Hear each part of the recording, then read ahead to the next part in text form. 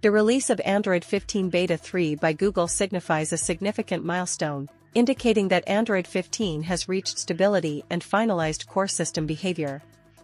This progress sets the stage for Samsung's One UI 7.0, which is based on Android 15, to move forward towards broader availability across compatible Galaxy smartphones and tablets.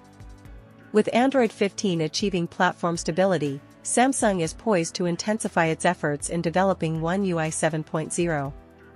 Traditionally, Samsung tends to kick off its beta program shortly after such announcements, aiming to commence the One UI 7.0 beta in the third quarter of this year. Following the beta phase, a stable release of One UI 7.0 is expected in the fourth quarter.